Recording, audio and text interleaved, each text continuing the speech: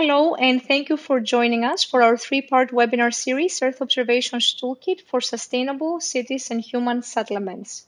Today, we have part two of our training on applications of the EO Toolkit to measure and analyze sustainable development goals.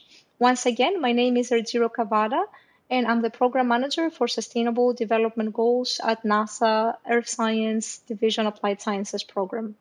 This three-part training is a collaboration between NASA's Applied Remote Sensing Training Program, the UN Habitat, the Group on Earth Observations EO4SDG initiative, the GeoHuman Planet initiative, and the CEOS Working Group on Capacity Building and Data Democracy. This training will have three parts, each being one and a half hours long. These sessions will consist of lectures and demonstrations, each followed by a question and answer session. You can find all the course materials on the website listed here and after each part, the recording can be found here too. There are two prerequisites for this training. First, you must have an understanding of the basics of remote sensing with our course on those concepts listed here if you're not familiar. Also, it is recommended that you have attended or watched the materials from the training we held last spring on an introduction to population grids and their integration with remote sensing data for sustainable development and disaster management. This training will be delivered in English and Spanish, so if you're more comfortable attending the Spanish version, we will conduct that session later today and you can find the registration link through the link found in the chat.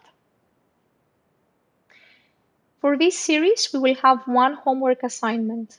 The link to the homework will be made available during the last session and will be due on Tuesday, February 24th.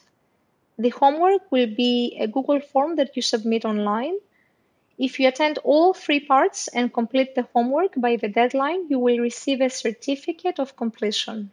Please be patient as it takes a couple of months to process and send out these certificates.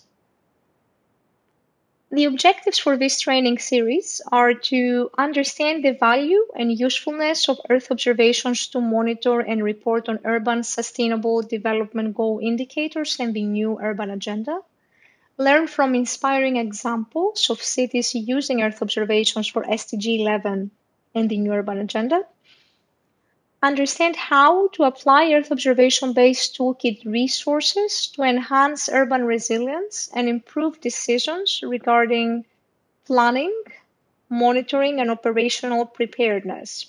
For example, including informal settlements, open spaces for public use, access to public transport, and urban greening.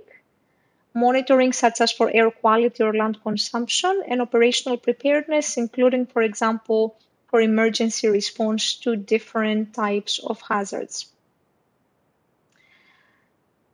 As I mentioned, this series consists of three parts.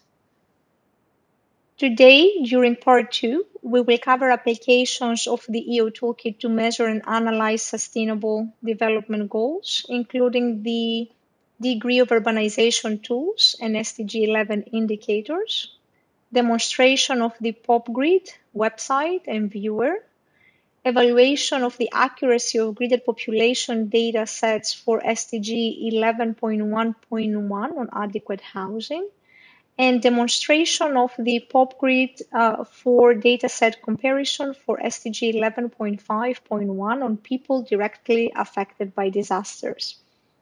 And for our last part, part three, on February 10th, we will go through a couple of use cases from the national and city level. And so now I would like to introduce our colleagues, Thomas Kemper, project leader from the European Commission's Joint Research Center, and Cascade Tuholske, postdoctoral research scientist at the Center for International Earth Science Information Network at Columbia University. First, we will go to Thomas. Thomas, um over to you.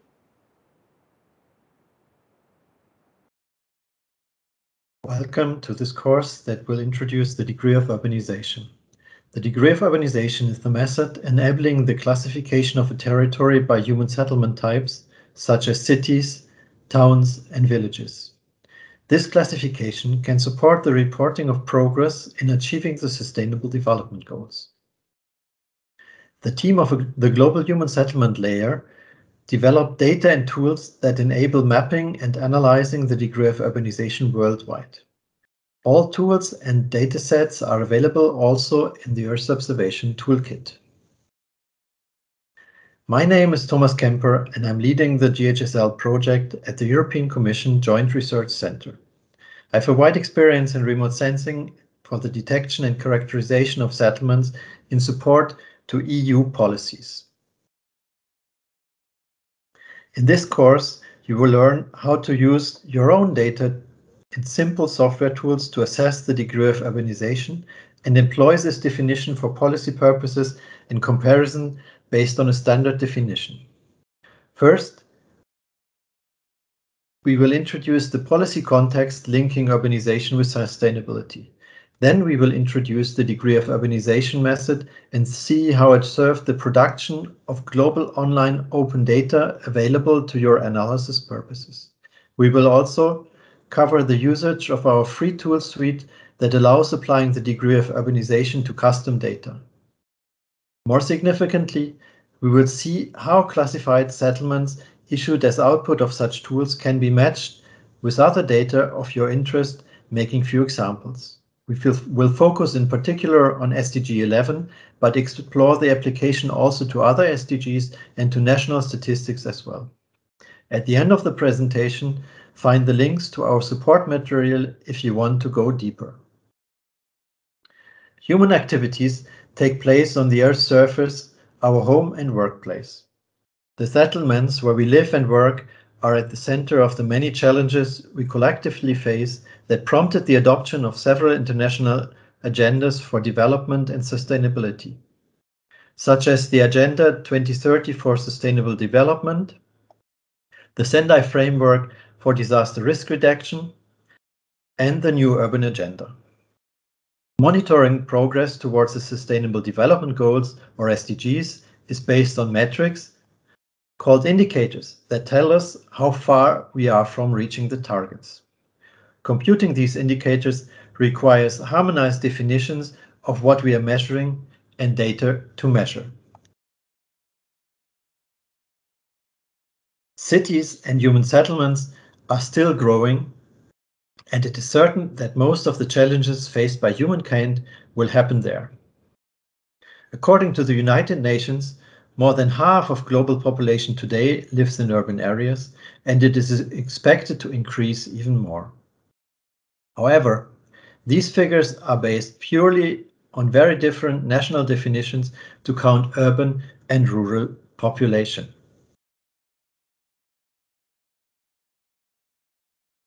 The way urban and rural areas are defined influences how urban and rural population is accounted. In this map, you see the diversity of definitions used by national statistical offices of different countries to report to the United Nations. Most of them, in the lightest shades, are based on different population size or density thresholds, sometimes in combination with other indicators.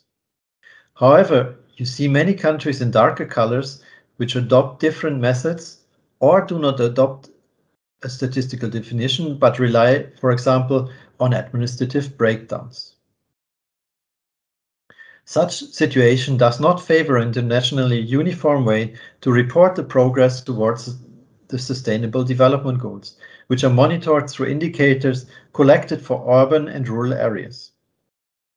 Agreeing on a common method to identify what a city or a town is where it begins and where it ends, and what is rural is key to ensure whether we monitor the evolution of urbanization worldwide. This is essential to identify best practices and improvements in policymaking.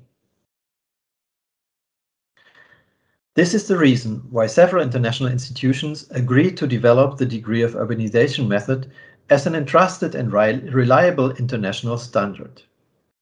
Using GHSL global datasets as a reference data, six international institutions developed the degree of urbanization together and presented the methodology to the UN Statistical Commission, which endorsed it officially in 2020. Currently, several custodian agencies of the Sustainable Development Goals recommended the use of the degree of urbanization to facilitate international comparisons, reporting of urbanization statistics, and calculation of indicators. This new method has several benefits. It can be applied in a very cost-effective manner. Existing data collection, such as, such as household surveys, can often be used as an input to the degree of urbanization. By proposing three classes, it captures the urban-rural types range. Because this method is based on a population grid, it reduces the distortions created by a variable size of statistical and administrative units. It improves global comparability by capturing the spatial concentration of people directly instead of relying on proxies such as built-up areas or nightlights. But, not, not but last not least, the method is independent from the presence of amenities as it was designed to monitor access to services and, and infrastructures in areas with different population densities and sizes.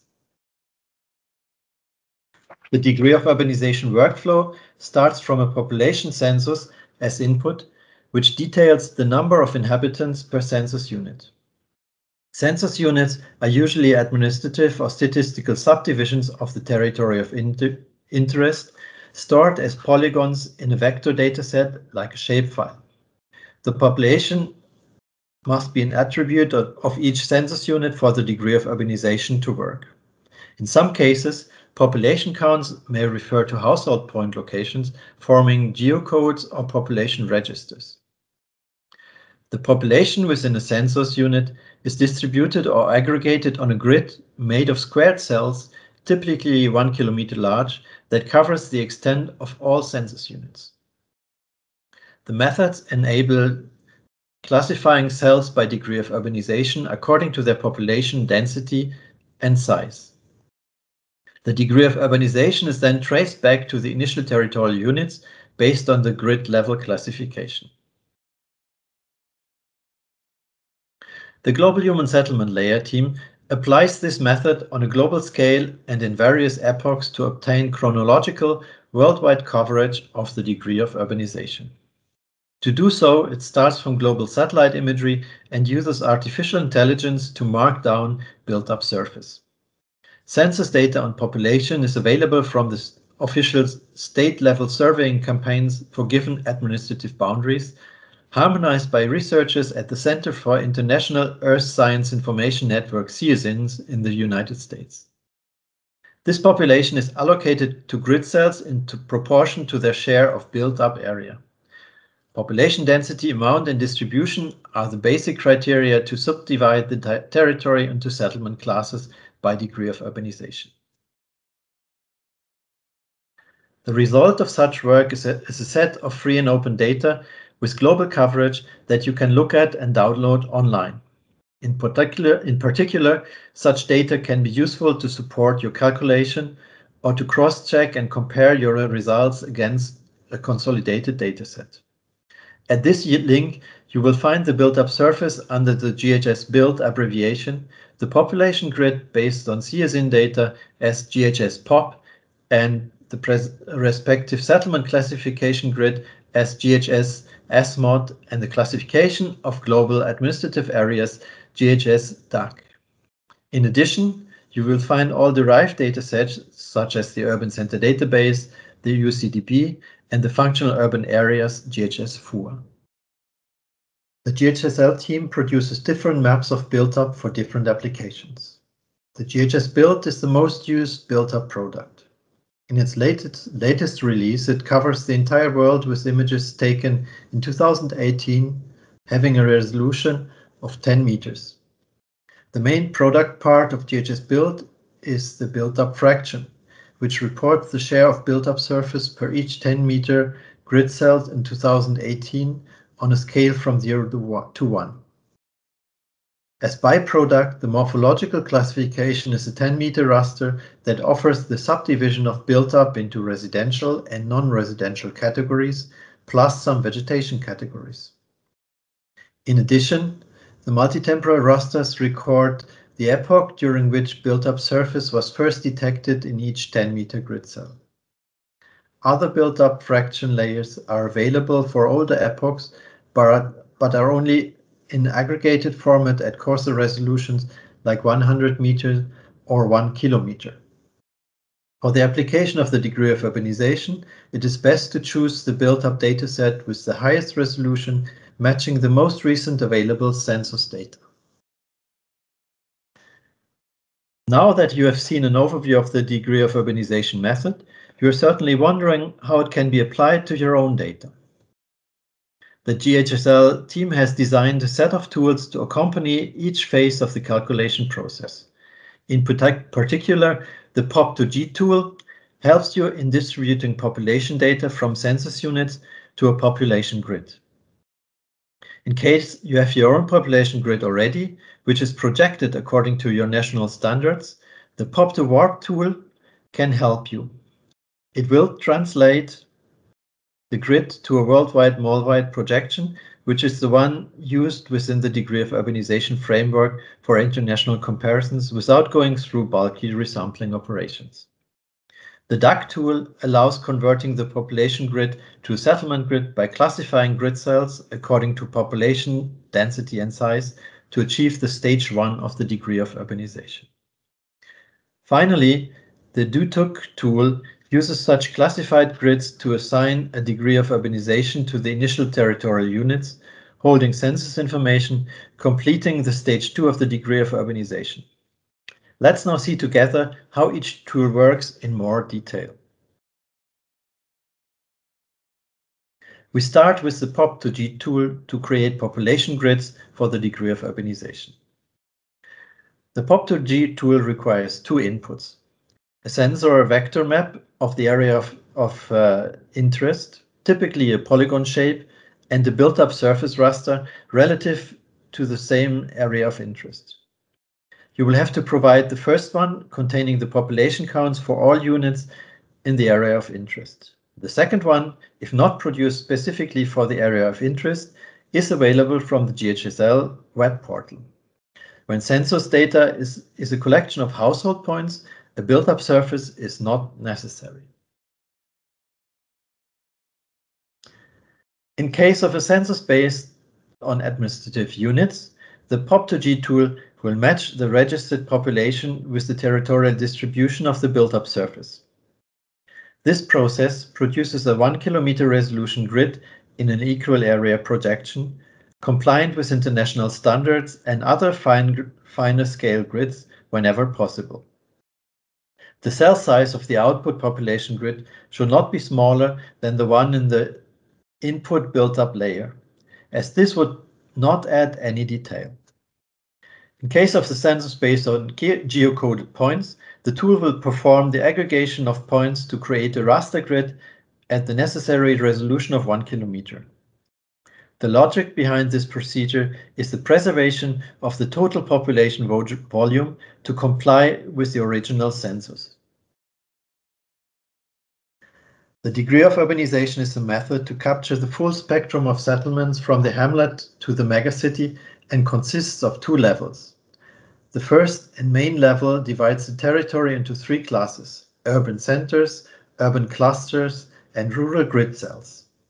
As such, while most of the national standards are based on a binary definition of either rural or urban territory, the degree of urbanization introduces a third intermediate class. Urban areas are defined as urban centers plus urban clusters.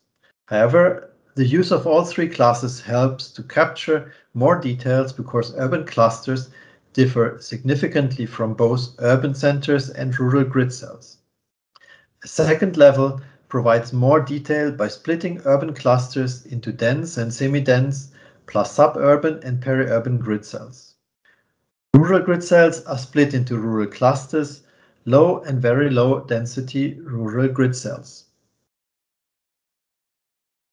If you are wondering how all these data sets and settlement types look like, in this slide you have an example from satellite imagery. This only gives the flavor of the most evident differences between classes. For example, see the decreasing de concentration of people from the urban center grid cell to the suburban grid in the urban area. Among rural areas, you can identify the isolated settlement in the rural cluster grid cell and scattered distribution in low density rural grid cells and the remoteness of very low density rural grid cells. Talking practically, what you will need to run the degree of urbanization grid tool DUG is again the population grid as issued from the POP2G tool and the built-up grid with the same resolution and the same extent. The built-up grid is needed only if the 50% built-up density option is selected. In case you don't have the version of this dataset, you can always download it from the GHSL portal. Another input that can be useful, useful is the land grid. It is a continuous raster holding values in a range from 0 for water to 100 for landmass issued from land pixel aggregation. A default version of this raster is preloaded in the tool, but at best you can provide your own in case available. In short, the tool will analyze the population grid and build up input to take care of, the classif of classifying all the raster cells based on population size and density criteria. Here you see an example of a real case scenario namely the classification of the city of Cork in Ireland. You can see how the urban center is rather compact in spite of the conspicuous spread of the population and how a system of satellite urban clusters emerges from large rural hinterland. Now we want to trace the degree of urbanization back to the territorial unions. Let's see what those are in an example. This is the French region of Corsica, split hierarchically into several territories corresponding to given administrative competences. All such levels could be used as source of territorial units as they include, include close defined boundaries. Administrative boundaries at various levels are available for free for non-commercial users from the database of global administrative areas linked here, here, which covers the entire world. However, territorial units are not constrained to, to be administrative boundaries. They could also be statistical units used for censuses, like the CIAN lines you see here on the Corsica map, or postal code areas, or any other exhaustive and coherent subdivision of geographic space. The general recommendation is to use the smallest spatial units for which regular data can be produced to compile statistics by degree of urbanization. Along with the vector of the territorial units, there is other necessary input to the degree of urbanization territorial units classifier, the DU-TUC. One is the population grid and the other the degree of urbanization grid produced earlier. To facilitate the classification process, the degree of urbanization grid should be at the standard resolution of one square kilometer. Once the computation is launched, the software will rasterize the territorial unit boundaries and match them with the degree of urbanization grid.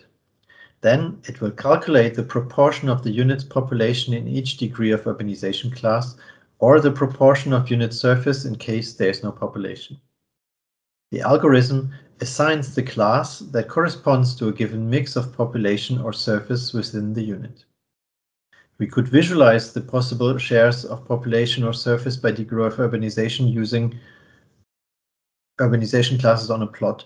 The possible combinations determine the attribution of a certain class to a given unit by majority rules. The first level classification is carried out first. Then second level subclasses are attributed in a second phase.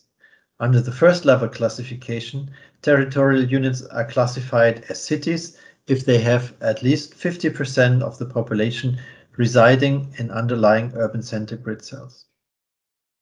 Rural areas come from territorial, territorial units having more than 50% in rural, rural grid cells within their boundaries. Towns and semi-dense areas result from territorial units having less than 50% of population living in urban centers, and no more than 50% of population living in rural grid cells, irrespectively from the population in urban, cent urban cluster grid cells. The same logic can be applied to surface in unpopulated areas. Under the second level classification, the first level class is split based on relative majority of inhabitants. The assigned class corresponds to, one, to the one with the highest share of population. A particular case occurs in towns and semi-dense areas when a first comparison is performed between total population living in dense or semi-dense urban clusters and population living in suburban and peri-urban grid cells. A territorial unit is classified as suburban or peri-urban if the population living in such class is at least 50% within urban clusters. Conversely, the unit is classified as dense if the relative population is greater or equal to the one in semi-dense urban clusters or vice versa. By looking at the example of the city of Cork and Ireland again, you can see how the urban center matches the respective territorial unit pretty well, but suburban polygons appear much larger compared to the extent of the underlying grid cells classified accordingly. This is a consequence of their size in relation to the population distribution. The degree of urbanization grids can be easily overlaid in other raster datasets like gridded air pollutant emission datasets. This way, researchers can perform spatial statistics of different kind. In this work, carbon dioxide em emissions observed in various geographic areas of the planet are broken down by degree of urbanization class.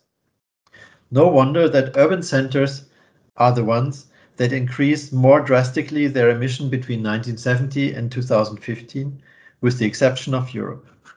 Similar, similar zonal statistics can be done on nighttime lights by degree of urbanization to identify inequalities. With regard to the Sustainable Cities and Communities SDG Goal 11, GHSL data classified through the degree of urbanization are allowed to estimate the indicator 1131 called land use efficiency.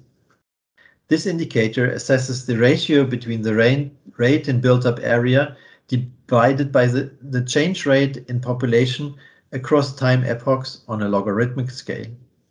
The degree of urbanization is fundamental to delineate urban areas as the areas of interest. As such, settlements where population growth rate is greater than the pace of built-up area expansion lie in the range between 0 and 1. Settlements in the class are respectively urban centers in Africa. Settlements with values outside the 0-1 range indicate faster built-up area expansion compared to population change, like in Europe and Asia. Sometimes the ratio is negative, meaning continuous built-up area expansion and population decline. This trajectory is typical for Eastern Europe and Japan and parts of uh, central China. Urban centers have the most efficient trajectory both in towns and semi-dense areas as well as in rural areas. Built-up surface expand at a faster rate compared to the rate of their population growth.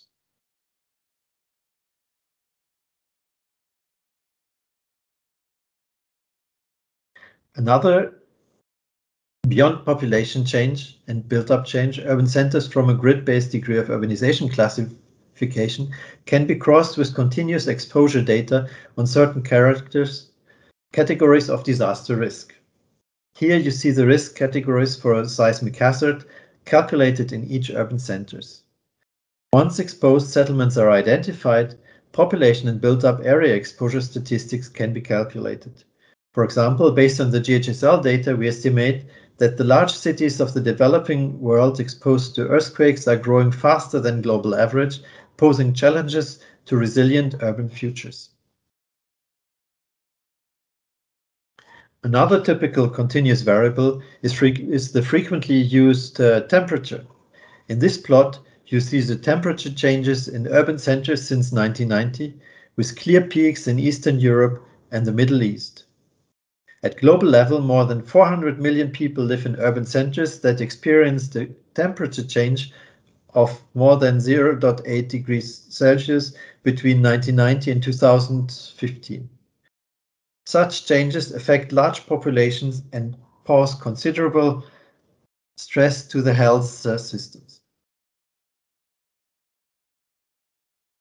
Delineation of urban centers is useful for combining other data from satellite sources like the Normalized Difference Vegetation Index, also known as NDVI, to monitor greenness.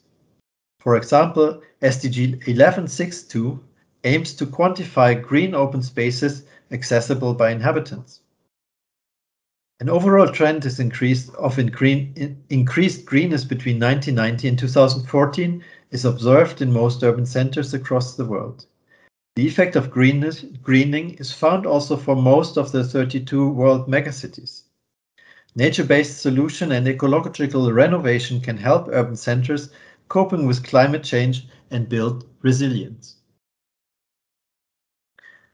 Now, let's have a look at the application of the degree of urbanization for, mo for monitoring and assessing the Sustainable Development Goals, combining, combining it with official statistics.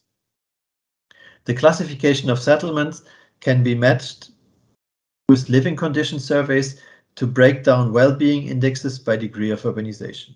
In the plot here, we are focusing on access to food, and we represent statistics on food insecurity from the Food and Agriculture Organization of the United Nations on territorial subsets for selected countries. Rural areas are often found to be significantly more food insecure than cities, but not everywhere. Focusing on, focusing on access to health cares in many countries, many countries are covered by the Demographic and Health Surveys, DHS, Infant mort mortality is notably higher in rural areas than in cities. In a few countries, cities had a higher infant mortality rate, but the difference tended to be smaller. Now let's see the possible application of an effective classification of territorial units. The classification of territorial units by degree of urbanization has two principal objectives primarily to relate available statistics like demographic and health surveys, statistics on labor or housing to a degree of urbanization classification, namely urban or rural. And second, to account urban and rural populations for administrative areas. Both applications would harmonize nationally collected statistics to a common urban-rural classification of territorial units, useful for international statistical comparison as recommended by the United Nations Statistical Commission. For example, the 2018 census of Colombia was used to apply the degree of urbanization and to disaggregate the statistics of services by degree of urbanization, like access to electricity, fresh water, and internet connectivity, among others. From our analysis, 97.1% of the households in Colombia have access to fresh water, but this share decreases to 54% when moving from urban to the low-density rural grid cells. SDG reporting becomes easier and more informative with such classification tools.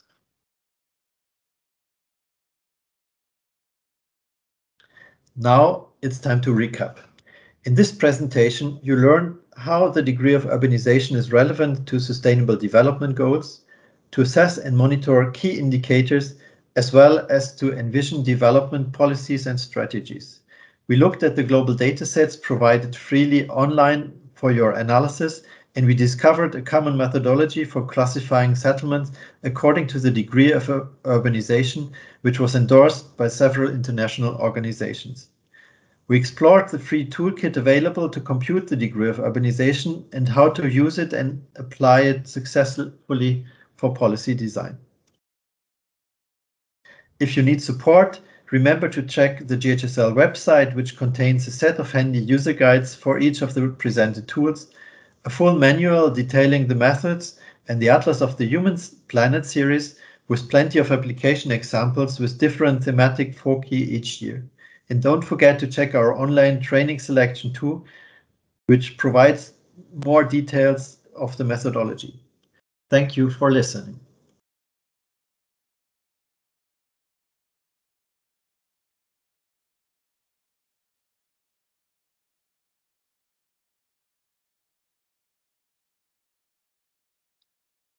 Thank you, and thank you everyone for being here today. Uh, my name is Cascade Tuholske. I'm a postdoctoral research scientist at the Center for International Earth Science Information Network, which is a part of uh, the Columbia Climate School at Columbia University, and I work closely with the Nas uh, NASA Socioeconomic Data and Application Center, uh, one of NASA's DACs, and I'm really excited to be here today to uh, talk about applications of the EO toolkit to measure and analyze sustainable development goals. So as I said, I am a postdoc at CIESIN. I'm a human environmental geographer. My research focuses on extreme heat exposure, climate change, and food security, largely outside of the North American and European contexts. My goal as a scientist is to inform adaptation strategies that reduce the harmful and inequitable impacts of extreme heat events. And I received my PhD in geography from the University of California, Santa Barbara in 2020. So in this webinar, I'm going to do an uh, provide an introduction to PopGrid. And if we hold on one moment, I'll explain what PopGrid is. Um, and the importance of comparison of gridded population data sets to the Sustainable Development Goals. Um, I will show how gridded population data sets have been used uh, to evaluate Sustainable Development Goal Indicator 11.11, or adequate housing, and how Earth observation data can be used to inform slum or deprivation areas or deprived habitat housing in urban settlements. I will then um, provide an overview of the PopGrid website and the PopGrid viewer, and then I will briefly demonstrate a new data set that is uh, in alpha release, or it's not formally released by NASA SEDAC, but it will be called the PopGrid Compare uh, dataset for more advanced users with uh, background in geographic information systems or uh, scripting language like Python or R. So the United Nations Sustainable Development Goals uh, have been talked about extensively throughout these webinars. Um, are comprehensive. There are 17. The toolkit really focuses on Sustainable Development Goal 11 um, in terms of uh, understanding, or pardon me, ensuring more sustainable uh, urban populations across the face of the planet.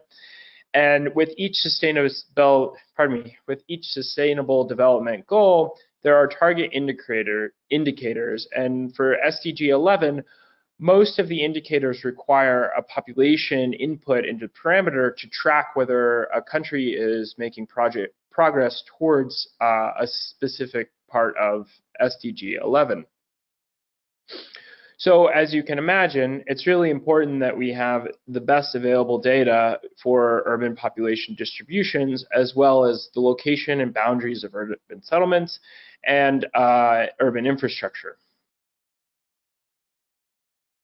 So again, Sustainable Development Goal 11 is to make sure cities and human settlements uh, are inclusive, safe, resilient, and, uh, and sustainable. So today I will present um, efforts to use gridded population data sets to focus on SDG target 11.1 and target 11.5 and then for target 11.1, the specific indicator or metric used to track SDG 11.1 is 11.11, the proportion of urban populations living in slums, informal settlements, or inadequate housing. So again, as you can imagine, we would need a count of people living in informal settlements or slums across the face of the planet for us to be able to track this indicator to achieve the target uh, 11.1. Second, I will discuss um, how gridded population data sets can be used for target 11.5. Uh, the target 11.5 is by 2030 significantly reduce the number of deaths and the number of people affected, and pardon me, substantially decrease direct economic loss relative to global gross domestic product caused by disasters, including weather-related disasters, with a focus on protecting the poor and people in vulnerable situations. So in sum, or in short, SDG 11.5 is really to reduce the number of people who are harmed by disaster events. Sustainable, uh, pardon me, gridded document, gridded population products can be used uh, to estimate two SDG indicators related to SDG target 11.5. 11, pardon me, indicator 11.51 is the number of deaths, missing person, or directly people, uh, pardon me, directly affected persons attributed to disasters per 100,000 people. So for a given disaster event or a given hazard, the goal is to reduce the, the number of people impacted relative to the total population. Second target is 11.5.2, focuses on economic loss. So direct e economic loss in relation to global GDP, damage to critical infrastructure, and number of disrupt, uh, disruptions to basic services attributed to disasters. Here, it's really important to have uh, accurate infrastructure data as well as ways to assess economic da damages related to any uh, disaster or uh, hazard. So I know Thomas presented a bit on one gridded population dataset, but I'm going to just re-emphasize what gridded population datasets are and walk you through several of the gridded da data sets produced by different teams across the planet and ways that you can compare those gridded population data sets. So first, again, to review what gridded population data sets are, Essentially, it is a lattice or a grid laid over the surface of the planet, and then each cell in the grid gets a population count. There are several gridded population data sets in existence, and several products identify urban versus rural settlement types. This screenshot right here is from the PopGrid data viewer, viewer with the URL below. I will provide uh, a demonstration of the PopGrid data viewer in a moment. And as you can see, there are four different gridded population data sets on the web page um, in this example. The gridded population of the, of the world version 4, WorldPop 2020, Landscan 2018, and the high resolution settlement layer 2015 count. As you can see for this geography, the number of people living in each grid cell varies quite substantially across these four gridded population datasets. This is because each gridded population data set generally uses a different modeling approach. So I'm going to walk through two general approaches used by different teams who create gridded population data. But again, remember, gridded population data are a lattice or grid, and each grid cell is assigned a population. Those population estimates are derived by combining remote sensed Earth observation satellite data and sometimes GIS data to develop a relationship between census derived population counts and remote sense information, and then computer algorithms are used to allocate populations based on that relationship in areas where we might have Earth observation data, but not good census information. As I said, there are two general approach in terms of measuring sustainable, or pardon me, in terms of measuring gridded population data estimates.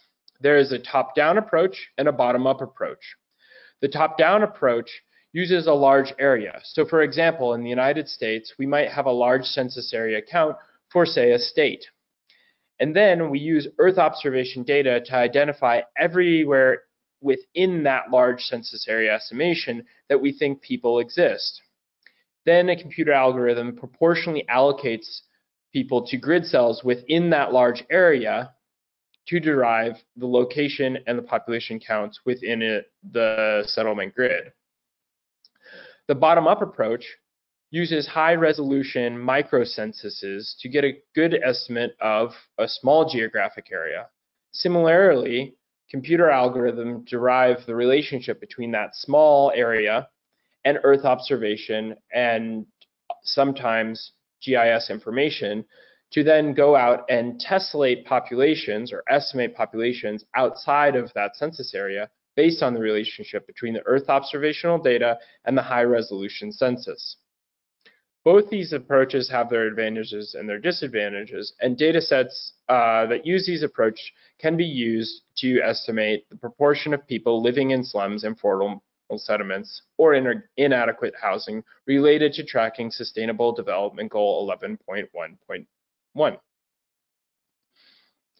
But as I mentioned, because these gridded population data sets use different modeling approaches, they estimate where people live uh, differently, or they map where people live in different ways. So right here, we have a map from a paper I published in Sustainability recently of Nepal. The colors indicate whether or not a gridded population datasets, a dataset agree if a given pixel is habited or not.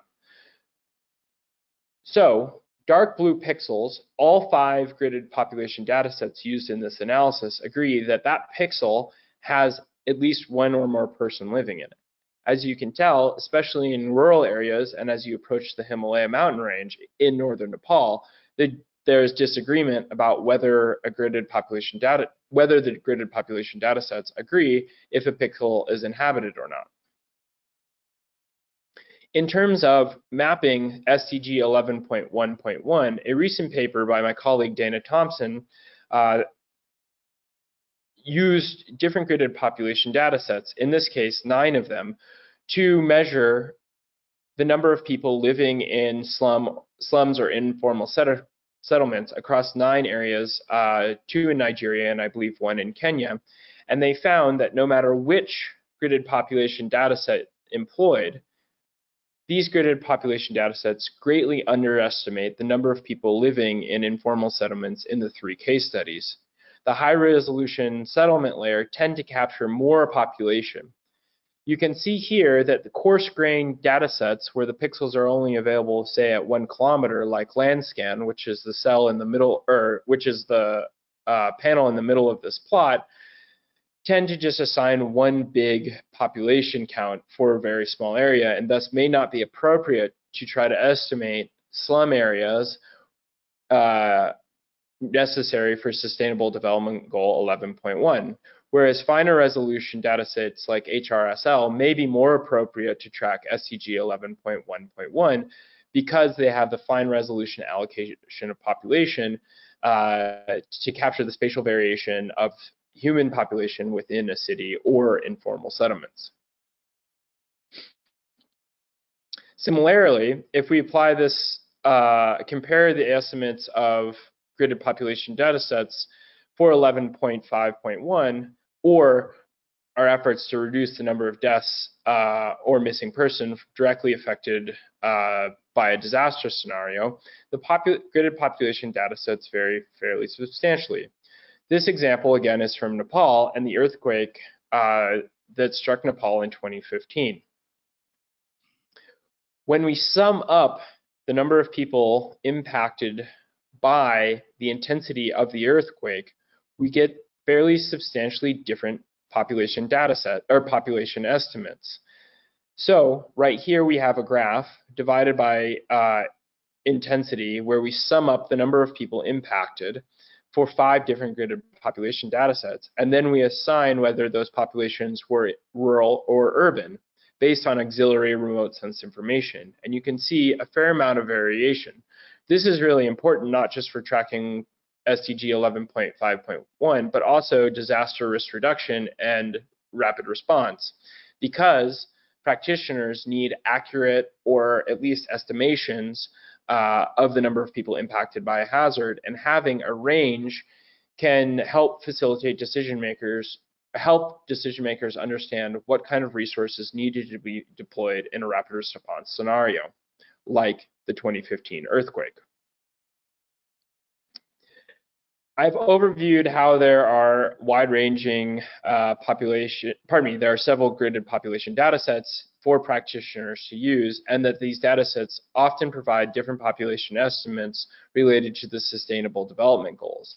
Nonetheless, all of these data sets are very useful, and the scholars and scientists who have built these data sets have come together to work collaboratively on the PopGrid Data Collaborative, which provides an overview of the modeling techniques, the input data, as well as an ability to compare these data sets over space and time. This uh, effort has been supported by the Columbia Climate School, NASA, SDSN Trends, and the Bill and Melinda Gates Foundation. I'm going to now provide a brief tutorial to walk through the PopGrid Data Collaborative website.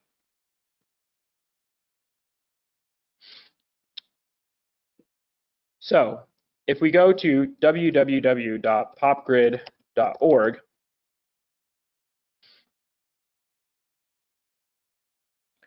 we get the PopGrid Data Collaborative's website. We have a list of the data providers who produce gridded population datasets. You can link to their information. You can learn more about PopGrid, about the Events tab. The news often provides frequent updates of new scientific manuscripts and applications of gridded population data.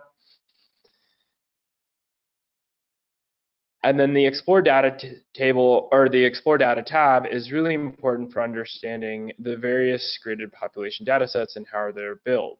So if you click on the input layers, you'll see the GIS and remote sensor information that goes into building a given gridded population data set.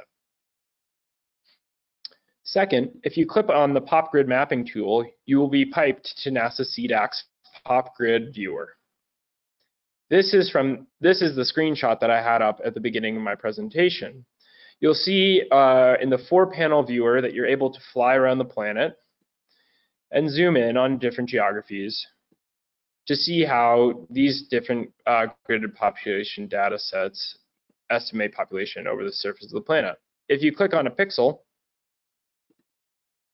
uh, you will get a population count um, for that value integrated viewer. So right there where I clicked on in Afghanistan, GHS says there's no people, WorldPop estimates about 80 people, Landscan says zero, and GPW uh, estimates 429. GPW, just as a caveat, is the only unmodeled population data set. That means that from a top-down approach, populations are just equally distributed over the finest scale geography. So they don't account for anything like mountain ranges or lake beds, and it's just an equal allocation of population within a given census boundary.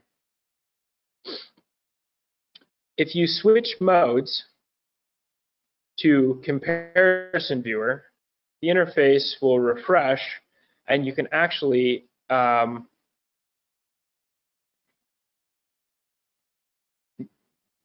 do area estimates of uh, different across the different population data sets. Apologies, this takes a minute to load.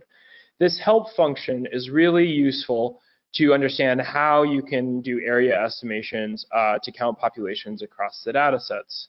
So you have how to draw a polygon, how to edit a polygon, how to draw rectangles with little video tutorials, how to edit rectangles, and how to delete them. So I'm going to close this window. Oops, excuse me.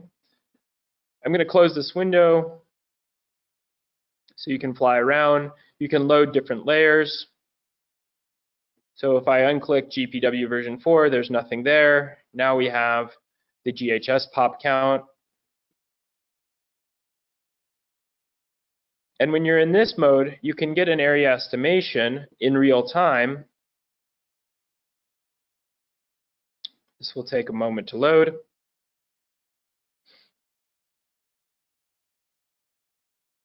Where on the back end, uh, CIESIN servers are counting the number of people in that polygon I just, or that rectangle I just drew. And when this is done loading, we'll be able to see the population counts. Apologies, my internet is slow today. And so you can, uh, similar to that graph I put up for Nepal, you can estimate uh, or get different area estimations of population counts, and then you can export this either as an image or as a CSV file for your analysis needs.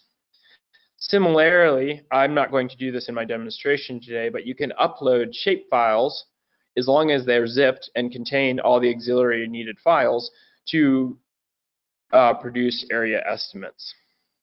The last thing I'll present today is for more advanced users. Po gridded population data sets tend to come with different geographic coordination, uh, quarter, ge pardon me, ge different geographic projections, areas, um, and because of that, they're sometimes misaligned. A new product that CIESIN will be releasing is PopGrid Compare, where all the gridded population data sets are matched to a common grid for end users to do more advanced uh, calculations or automate um, area estimates. So right now, the yellow areas are just an estimation based on MODIS of where urban and rural population or settlements exist. But if we click through here, this is Global Human Settlement Layer for 2015. The colors are log scaled population counts from 1 to 10,000. If we overlay world pop, you have uh, the world pop estimates again in the same colors. So these stacked rasters that are in a native or a common reference geographic reference system or coordinate system and a common grid will make doing rapid analysis of population area counts for any uh, practitioner uh, who is familiar with geographic information systems or geospatial scripting and say R or Python much easier um, than just the native PopGrid viewer.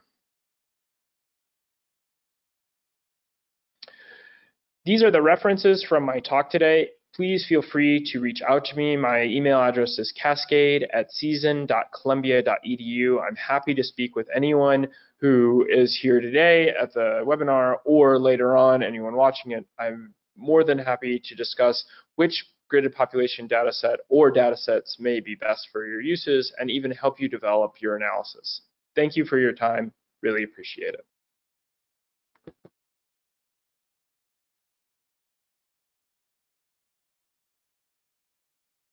As a reminder, here is the contact information for myself, Thomas, and Cascade. You can find all the information about the training, including links to download the materials from the training website shown here. And do please check out the many other trainings we have available on the ARSET website listed here. We also encourage you to follow us on Twitter to stay informed about upcoming trainings, as well as SDG related events and activities. As part of part three, on February 10th, we will cover a number of use cases from the national and city level, demonstrating how city and national level governments are leveraging Earth observations to calculate SDG 11 indicators such as sustainable urbanization, open spaces for public use, and mean annual levels of fine particulate matter in cities. Thank you very much and we will now go to our Q&A session. Great, thanks again, everyone. So um, we will now share uh, the document where we can look fantastic. So we have your questions and we've already started providing some responses. Uh, so we'll look with, we'll try to address all questions today, but if we don't have a chance to get to some of the questions, we'll make sure that um, we follow up and provide responses to these questions and then share them uh, with you along with all other training material. So let's go to question one. How do you normalize unified territorial units between different countries, which may have very different names to call their administrational units? And so there is an answer already there we can keep the original administrative units. The only requirement is that the administrative information covers the full territory of analysis. How does your model deal with human mobility, such as moving from one city to another or from different census units within the same city? This is particularly challenging in developing countries, which are experiencing a fast urbanization rate, while census are taking place every uh, several years. Um, so perhaps we can go to our colleagues at uh, the Joint Research Center, Pietro or Thomas. Would one of you like to respond to that? Yes, uh, thank you, um, Archie. I can I can uh, take up uh, this this question. So this is this is really one of the, the strong limitations of uh, the approaches and and all the data we, we're dealing with here. Also, the, uh, with what uh, was presented by Cascade, all the data on population that we are making use of are relying on census, and in the best of cases, this is done every 10 years. So if we have larger population movements uh, happening in between, they are not covered. So we have to try to, to find then uh, other solution. Uh, one option is to, to do micro census um, in those areas where we had those changes and try to project this then to larger areas or the entire countries. But this is of course uh, creating then uh, more uh, instability in, in the system. So um, it's not obvious to, to get out such migration effect. And that's also a big problem uh, in developing countries where very often the census is not uh, taking place uh, so frequently. So there, there's uh, a number of countries where we didn't have census for more than 20 years. Thank you, Thomas. The following question was the elaboration of slide 35 on access to green in urban centers part of a publication. Is it possible to share the reference? And so we have already included the reference there. Uh, so you, and uh, I think, yep, so you can look that up. We'll go to the following question. Can these rasters be incorporated with OpenStreetMap uh, to perform service area analysis for transit systems.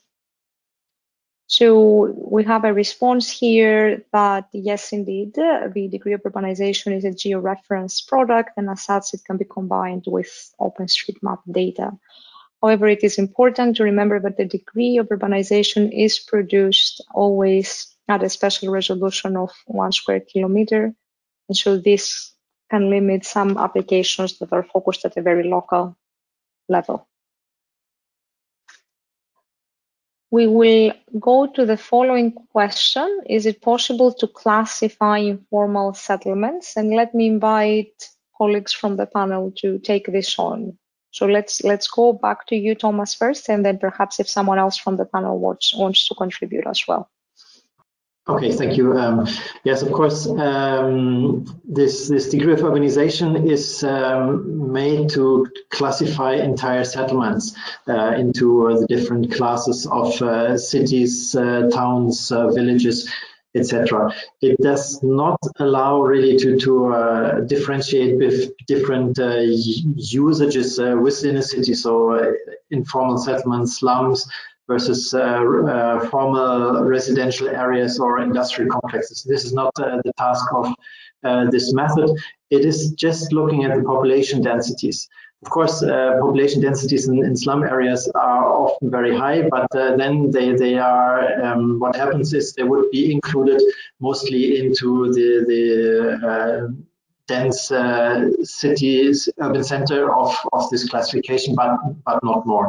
Um, I put there a reference to, to other um, remote sensing techniques that can be used with the same input data that we use for the built-up mapping then uh, to come up with uh, some classification of uh, informal settlements and, and slums. Thank you. We, we move to the next question. Does the EO toolkit also provide a platform to customize classification of satellite data using Python or R libraries?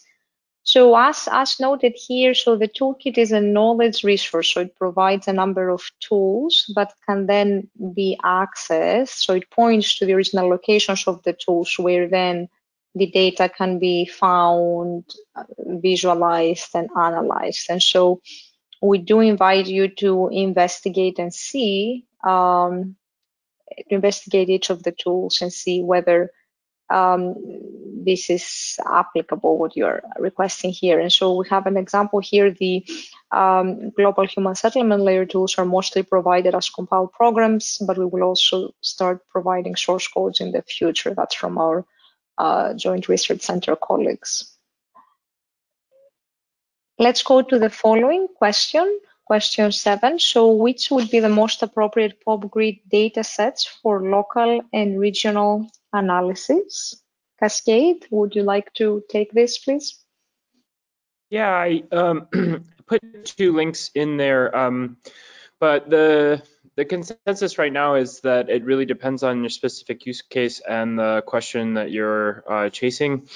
Um, so I put two papers and I'm going to add one more in there that really walk through the different modeling uh, techniques and provide much more detailed overview of helping end users choose which gridded population data set may be best for them. So I highly recommend this no leaving, uh, no one left off the map guide. Um, and the second recommendation, um, depending on your use case, is to calculate your uh, population estimate with a few of the gridded population data sets so that you have a range estimation. Um, but really, it's it's uh, use use specific, unfortunately. Thank you. Thank you, Cascade. And I think I, I will also add a link to a story map that is based on one of the publication by Dana Thomson and, and all. And I think that may also be an additional um, useful resource. So thank you for that.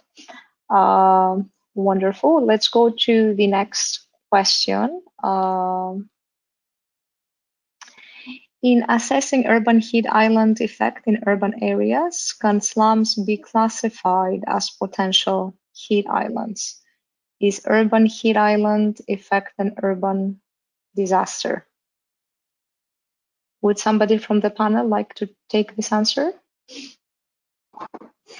Yeah, I, I can start again because I put in uh, the, what, what is uh, written written there, and then uh, the others can can come in.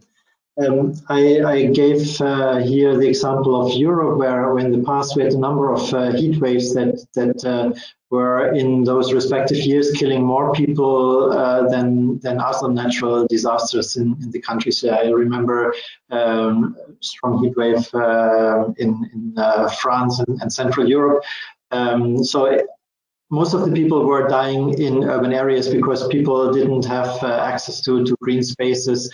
Uh, it was difficult for elderly people to, to uh, get to shaded places, etc. So I think it is definitely uh, an urban disaster and uh, as such can be addressed. But um, I, I doubt that um, the, the slums are per se heat islands. So the, the heat islands, I think, are created uh, in, in to a larger extent. And then it depends also a lot on, on the construction of uh, slum areas, informal areas, and uh, the location where they are. But uh, I, I, think I heard uh, Dennis, maybe you can come in here. Thank you, Thomas. Let's go to Dennis or Cascade, whoever else wants to contribute, please. I can, this is Cascade here. Um, so in terms of the urban heat island effect, uh, in terms uh, measuring it within cities around the planet, I'll post uh, two data sets that have, or one data set that has attempted to do this. Um, but in terms of heat health impacts, there are no uh, two meter air temperature data sets for the planet that can resolve that at the neighborhood scale.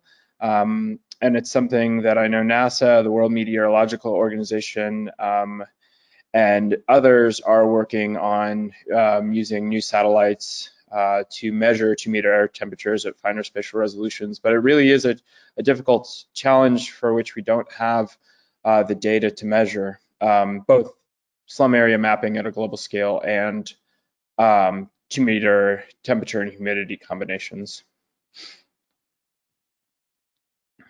Great, thank you, Cascade. We will go to the following question. Uh, I would like to know if we can use hexagons as units for analyzing urban areas and territories within the tools mentioned today. Do they have to be one kilometer area is the question. This is an interesting proposal that we were discussing also when developing the method. I think this is the response was coming from um, our uh, JRC colleagues, so perhaps one of you would like to take this?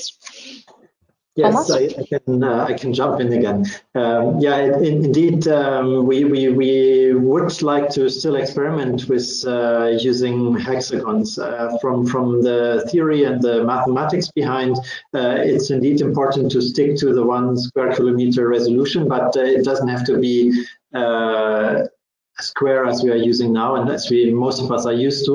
It could also be hexagons. Um, in the end, we, we didn't uh, pursue this roads because uh, working with uh, hexagons is uh, still uh, not so so widely widely used, and uh, we want to to not scare people by coming up with such more complicated, uh, complex uh, method uh, to work with.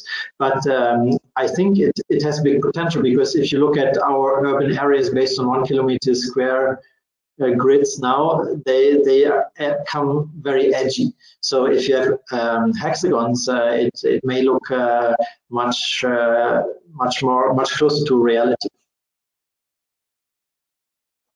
Thank you, Thomas we can go to the following question. Under types of built-up, slide number 18, what criteria is used to classify the built-up areas into residential and non-residential? Some cities have a substantial amount of urban population in informal settlements, slums. Others hardly have defined urban planning, and you find residential factories, warehouses, and other commercial entities are found in the same neighborhood. And so we have an answer here uh, in that the classification of residential versus non-residential areas is mostly based on the size of building complexes. It is mapping mostly larger industrial buildings and complexes. Smaller non-residential areas might not be detected. Anybody else uh, wants to to complement or add to this answer? Yes, RJ, I can I can uh, add yes. to this that uh, for us um, we, we we are aware of those limitations. So that what was described earlier, this this mix of uh, residential, small uh, factories, uh, some shops. This these settings are currently not covered, and it would be classified uh, by this approach as residential areas. But uh, here it's important to understand also our, our use case for this because this built up uh, data are then used for the population disaggregation. And uh, what we want to avoid is that we put a lot of uh, residential population in those industrial areas. So while it might still be okay that they live in, uh, that there's people distributed in the buildings in this mixed uh, environments, we want to avoid that uh, there's a lot of uh, residential population put in industrial buildings where they usually don't live.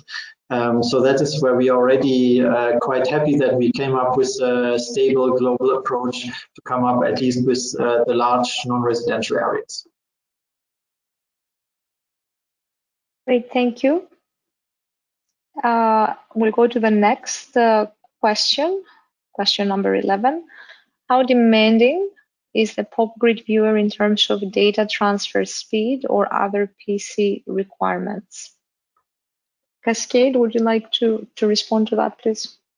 Yes, thank you. Um, and generally, it's very fast, um, and it works across, you know, slow and fast bandwidth internet connections um, because most of the calculate or all the calculations happen on the back end. Right now, if you want to upload a custom geography, right, I believe it can only handle one polygon in your shapefile. Um, but more features, we expect to add more features in the future. Thank you. Great, thank you.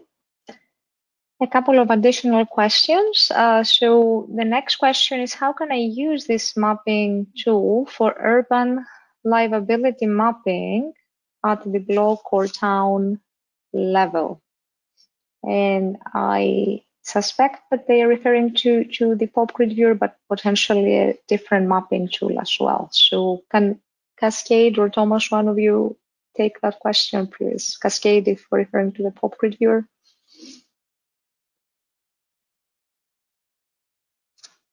Um,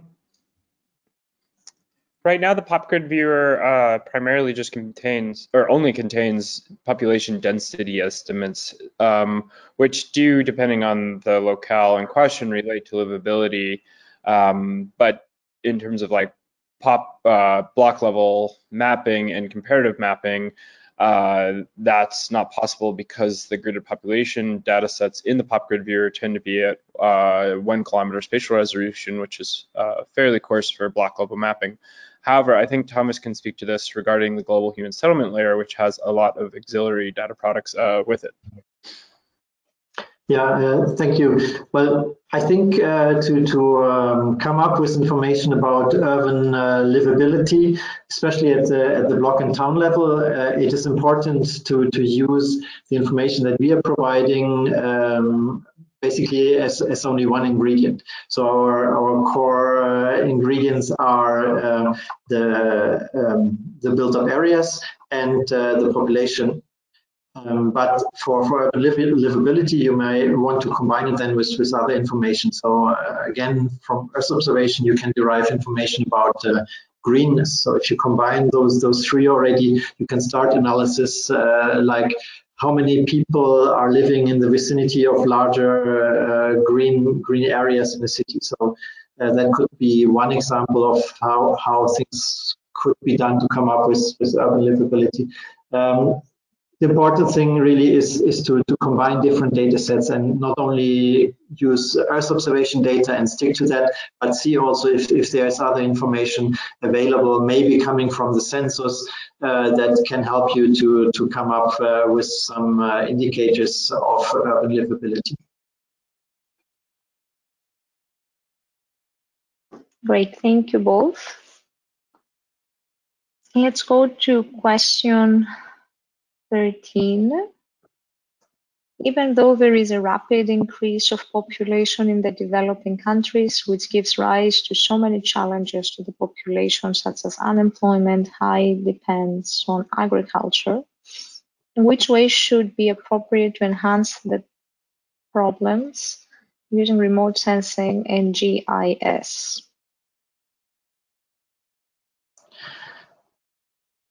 RG, I, I, understand this question, how we can uh, support solving those uh, problems uh, mm-hmm. using remote sensing and, and, GIS.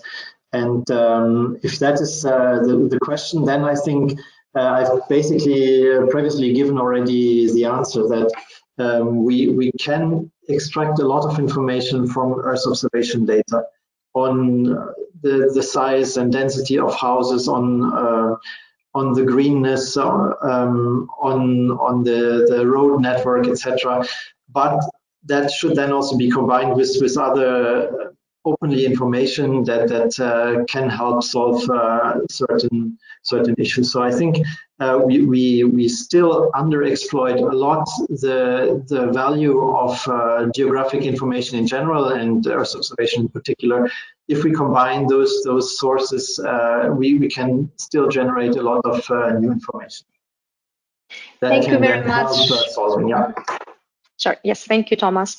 And and you know, I'll add to that that as you may have seen already, the toolkit shares or has a number of filters that the different data and tools can be categorized by. And so you can already have uh, an idea if you're trying to identify what data sets can be used as proxies or help you derive information on access to public transport or on uh, adequate housing and informal settlements, you can filter by those indicators and then you can look at the relevant data sets and tools. Uh, wonderful. So I think that this is the last question that we have. So with that, we, we, want to thank you very much for joining um, today's part two of the three-part uh, training. And of course, we invite you and, and, and look forward to seeing you next week for, for part three. So thank you very much, everyone.